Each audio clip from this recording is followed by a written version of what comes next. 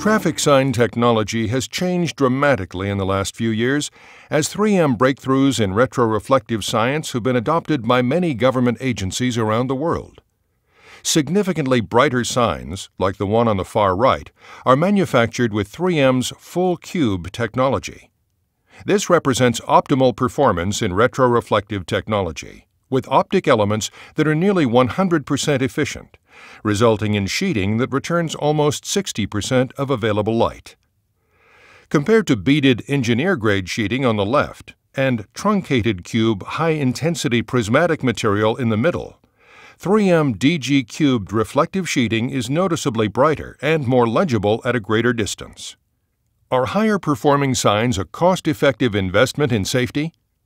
To answer that question, let's look at the principle of retroreflection and how it works with 3M's advanced sign technologies to help make our roadways safer. When headlights strike a traffic sign, the light is reflected back to the driver in a cone-shaped pattern. This cone of reflectivity, or cone of returned light, allows the driver to see the sign. The closer the driver is to the center of the cone, the brighter the sign appears. For drivers on the edge of or outside the cone, signs are dimmer and more difficult to see at night. Most retroreflective technologies also have some diffuse reflection, which is essentially wasted light that is not reflected to the driver. The difference between low and high efficiency sheeting technologies is how much light they return toward the light source. Higher efficiency sheetings return more light back to the driver. Technology makes it possible to expand the cone of reflectivity both in terms of directing more light to drivers and by returning light in a larger cone of reflectivity. A larger cone of retroreflected light means that even drivers in SUVs, pickups, and semi-trucks with high observation angles are still able to see bright, clearly legible roadway signs.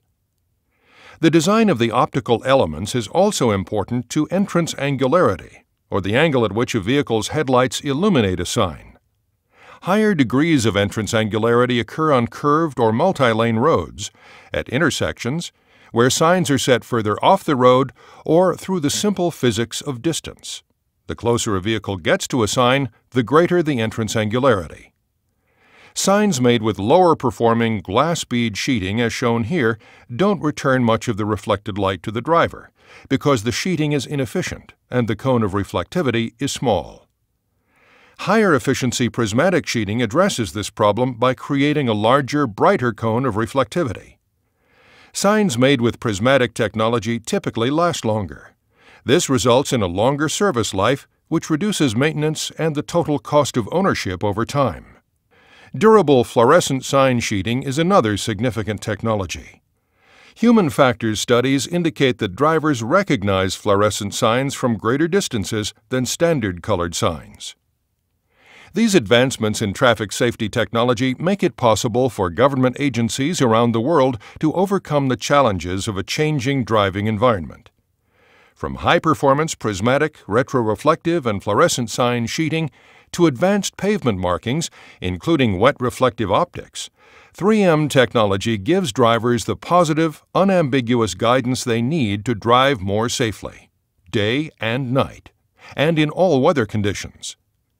Let's see how these technologies work in real-life situations at the 3M Traffic Safety Research Center.